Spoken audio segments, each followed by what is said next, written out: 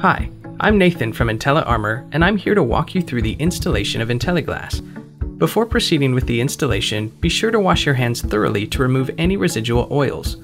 The first step is to thoroughly clean your iPad screen with the installation kit. So take the alcohol wipe and use it to scrub your iPad screen clean.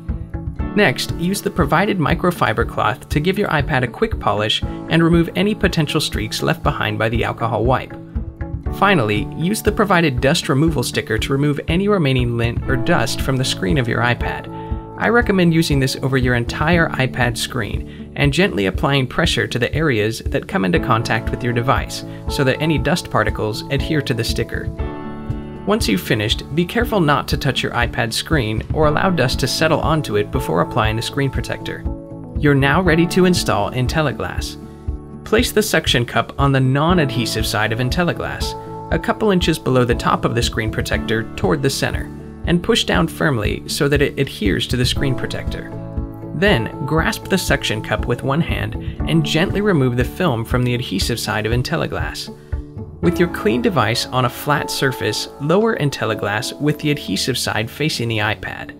Line up IntelliGlass with the home button, top, and side edges of your iPad screen.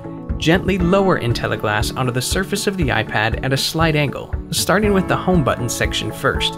If the alignment isn't perfect, gently lift up using the suction cup and reposition it.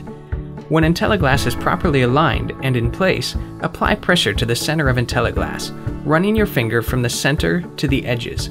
You can remove any bubbles by wrapping the included squeegee card in the microfiber cloth and push from the center out to the edges.